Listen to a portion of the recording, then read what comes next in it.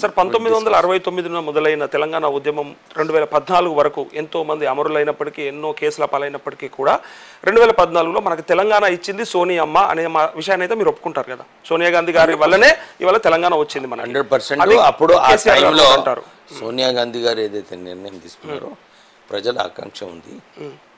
ఇస్తే బాగుంటుందని. యాక్చువల్లీ అప్పుడు మీరు అర్థం చేసుకోవాలి. ఫర్ అ లాంగ్ టైం చాలా మంది ఆంధ్ర ఎంపీస్ అని లేదమ్మా అక్కడ ఏం వెజిటేషన్ ఎక్కువ లేదు. చూసాం మనం డోంట్ వరీ అని. చాలా చెప్పినారు.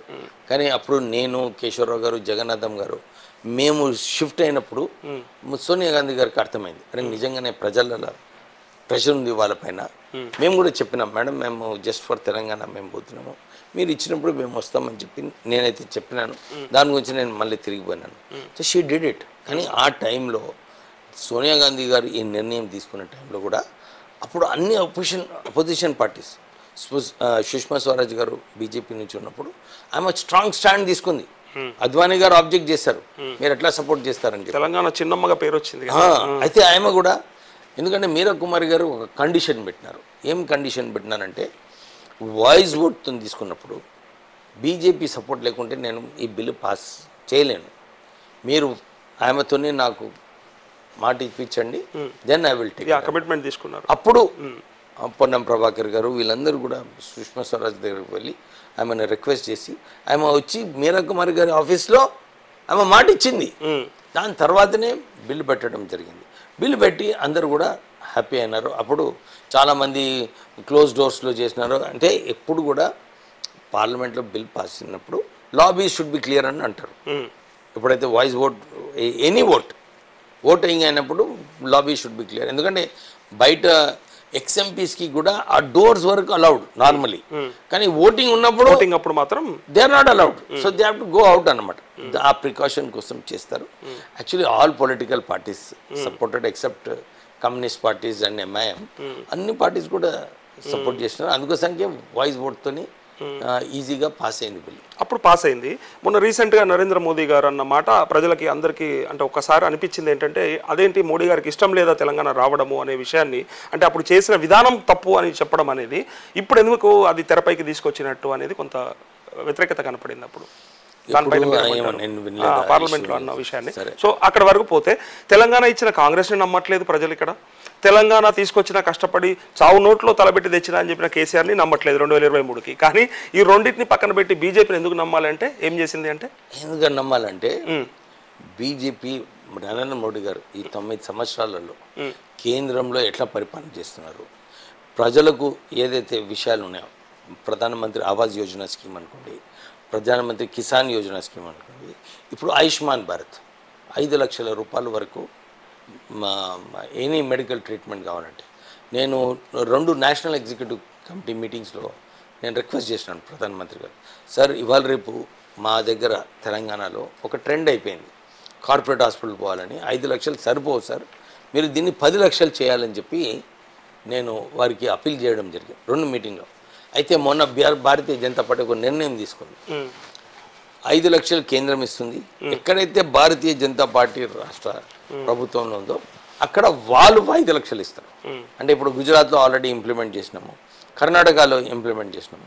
తెలంగాణలో కూడా మేము మేనిఫెస్టోలు పెడతాము ఐదు లక్షలు. అంటే ఇవన్నీ కూడా ప్రజలకు ఉపయోగపడేలా ఇప్పుడు మా బండి సంజయ్ గారు నిన్న అన్నారు. మేము వస్తే సత్తాలో ఇమ్మీడియట్లీ రెండు లక్షల ఉద్యోగాలు కల్పిస్తాము అవును నిరుద్యోగ మార్చులు అన్నారు. నిరుద్యోగ భాష దెన్ విద్య కోసం మేము అందరికీ కూడా మంచి విద్య నేర్పిస్తాము. ఫ్రీ ఆఫ్ కాస్ట్ అని చెప్పి కూడా హైయర్ ఎడ్యుకేషన్ కూడా మేము సపోర్ట్ చేస్తామని చెప్పి బండి సంజయ్ గారు చెప్పారు. అంటే ఇవన్నీ చూసుకుంటే ప్రజలకు ఏదైతే అవసరమో ఇవే కార్యక్రమాలు చేయాలి.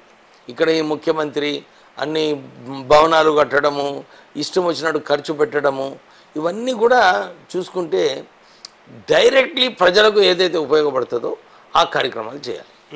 ఈయన చేయటం లేదు. Okay so that is the thing why Bharatiya Janata party will come to power in twenty twenty three okay కానీ అంటే ఇప్పుడు మీరన్నమాట నిరుద్యోగ మార్చిలో చెప్పిన రెండు లక్షల ఉద్యోగాలు మేనిఫెస్టోలో పెట్టే ఆలోచన ఉందా బీజేపీకి అంటే?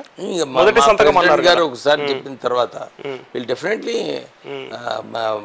దాన్ని సీరియస్గా తీసుకొని ఇంప్లిమెంట్ చేయడానికి ఏది ఏదైనా కానీ మేము కానీ ప్రెసిడెంట్ గారి మాటకి పక్కనున్న వాళ్ళందరూ కూడా మద్దతు తెలపట్లేదు. కొంత విడివిడిగా కనపడుతుంది బీజేపీ అనేది. కొంత అన్ని పార్టీలో ఉన్నట్టు ఇక్కడ కూడా political parties are almost the same individual aspirations over aspirations over expectations కొందరు లీడర్స్ ఉంటుంది.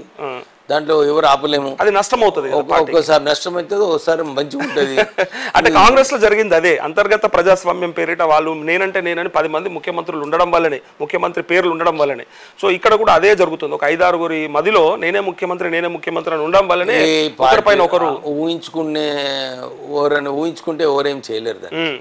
పార్టీలో మన భారతీయ జనతా పార్టీలో నరేంద్ర మోడీ గారు అమిత్ షా గారు సంతోష్ జీ గారు వీళ్ళందరూ కూడా వాళ్ళు నిర్ణయించుకొని అంటే వార్తలు వచ్చిన దాన్ని బట్టి ఇప్పుడు రఘునందన్ రావు గారికి ప్రోటోకాల్ ఇవ్వట్లేదని ఒక వార్త వచ్చింది పుంఖాన్ పుంఖాలుగా.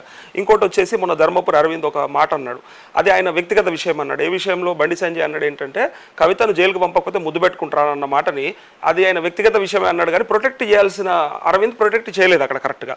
ఎవరినైతే ఓడగొట్టిండో స్వయానా ముఖ్యమంత్రి కూతురును ఓడగొట్టిన అరవింద్ గట్టిగా మాట్లాడాల్సింది. పోయి బండి సంజయ్ వ్యక్తిగత వ్యక్తిగత వ్యాఖ్యలు అవి అని చెప్పి వదిలేసినప్పుడే కనపడుతుంది అట్లాంటిది బయటికి.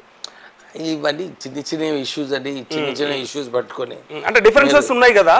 అభిప్రాయ భేదాలు రేపు పొద్దున నా కాన్స్టిట్యూన్స్ ఉంది. అక్కడ విభేదాలు ఉండవా? ఉంటాయి అన్ని చోట్ల ఉంటాయి. పాలిటిక్స్లో విభేదాలు ఉంటాయి. కొందరు కొన్ని విషయాలు ఎక్స్ప్రెస్ చేసే విషయాలు చేయొద్దు అది చేయనప్పుడే పార్టీ స్ట్రాంగ్ ఉంటుంది. చేస్తే పార్టీ వీక్ అవుతుంది సో గతంలో ఇది లేకుండే అందుకే అంటారు బీజేపీకి ఇది గత చరిత్రలో ఎప్పుడు లేదు ఒక్కోసారి జల్బాజీలో అయితే అవుతుంది కానీ బట్ స్టిల్ బీజేపీలోనే అక్రమ శిక్షణ ప్రజల్లో హోప్ పోతుంది కదా? నువ్వు అన్న విషయం హోప్ ఎందుకు పోతుంది అంటే వీళ్ళకి అధికారం లేనప్పుడే ఇట్లా చేస్తున్నారు అంటే ఒకసారి అధికారం చేతిలో పెడితే ఇంకా ఎంత మీరు చూసిన అహంకారం వస్తుంది వీళ్ళకి. కర్ణాటకలో ఎంత పెద్ద లీడర్ అయినా కానీ ఇద్దరు ఒక ఉప ముఖ్యమంత్రికి ఒక మాజీ సీఎంకి ఇద్దరికి కూడా డిసిప్లిన్ గ్రౌండ్లో టికెట్ ఇవ్వలేదు. భారతీయ జనతా పార్టీలో ఇలాంటి నిర్ణయాలు కూడా తీసుకుంటారు. మనకి గుర్తుపెట్టుకోవాలి. సో ఆ సిచ్యువేషన్ ఉంటుంది. కానీ బై అండ్ లార్జ్ ఇండివిజువల్ ఆస్పిరేషన్స్తోనే ట్రై చేసుకుంటుంటారు. దాంట్లో మనం ఏం చెప్పలేము. ఆ ఇండివిజువల్ ఆస్పిరేషన్స్ ఉన్నప్పుడు కూడా పార్టీని నష్టం చేయకుండా చేస్తే పర్లేదు అది ఉపయోగపడుతుంది. దట్ ఈస్ పార్టీకి కూడా ఉపయోగపడుతుంది. That is the correct way correct correct ఎవరైతే పార్టీని పోతే పోని నా నేనే నేను elevate అయితే. ఆ. That is not in line with elevate అయితే చాలనుకుంటున్నారు కదా దానివల్ల నష్టం అవుతుంది అది కుదరదు అందరూ మేమే హీరోలం అనుకుంటే అది కుదరదు అది.